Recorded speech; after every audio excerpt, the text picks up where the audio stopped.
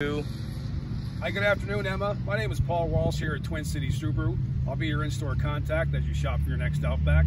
I've probably got about 16 of these Outbacks that are available for you, different colors and trim packages, and uh, they're ready for immediate delivery. So give me a call. It's the last two days of the month. I'd like to put that leverage to use for you to help you find the right car and help you purchase it and pick it up the right way.